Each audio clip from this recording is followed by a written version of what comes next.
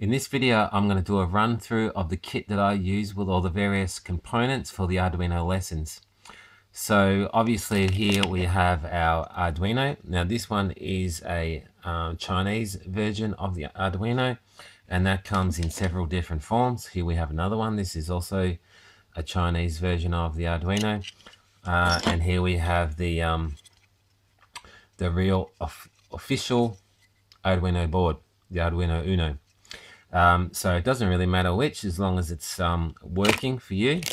Um, and obviously we have our USB Type B um, cable, and depending on the connector that you have here, uh, you'll need whichever one fits into that. Uh, I've got a little mini breadboard here and this is quite sufficient for um, all of the lessons in this series although you might want to get something a bit more substantial. So this one here obviously quite quite a bit bigger than the mini uh, and it also has the um, the positive and negative rails running down each each side. So that's quite handy too.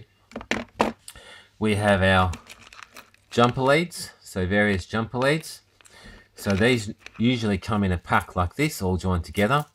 And you should have a variety of um, what they call plug, plug to plug.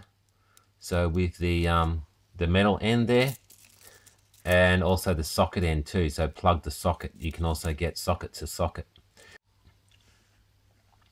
Here we have a lot of our smaller components. So we've got some resistors. We've got a potentiometer some LEDs, capacitors, and some transistors and diodes. So just a bit of a run through on these. With um, the resistors, um, you might want to have a range of resistors. So here is just a, a range of resistors and I'll, I'll include this on the description for this um, this video post. And a range of capacitors as well. So once again I'll include that list on the description with um, the transistors. The ones I use mainly these ones here.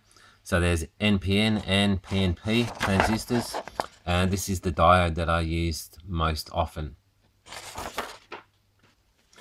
and here we have a couple of DC motors. So these are 6 to 12 volt small DC motors. And with them, I have this L298N full H bridge driver. So that's quite a handy um, component, quite um, quite affordable too. Uh, battery pack so this one is for 6 volts, but you can get these in a variety of different um, sizes to suit.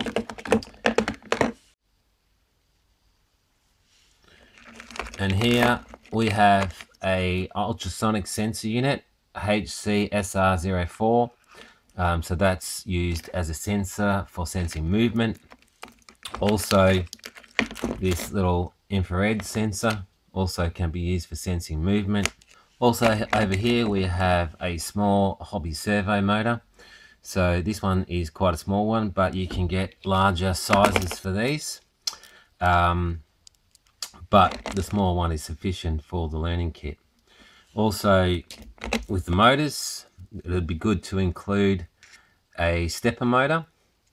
So this one here is a 48 step stepper motor. Um, but you any stepper motor that you have this one here is a um, 200 step stepper motor. This one came out of a old photocopy machine.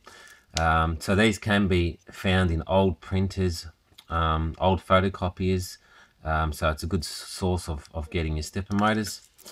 Um, and the other things are that you um, you can get a range of different stackable shields. This one here has the the breadboard on top. It's quite good for doing some prototyping um, and stacking your sensors on top of etc. uh, and this shield here is uh, contains a real-time clock and a slot for a um, SD card. So that's quite handy if you're doing some data logging.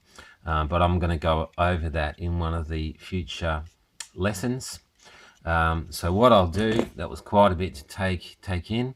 I will include a list of everything I've got in this set uh, along with um, the comments in for this video um, so that you don't have to remember all of what I've just said now. Thank you.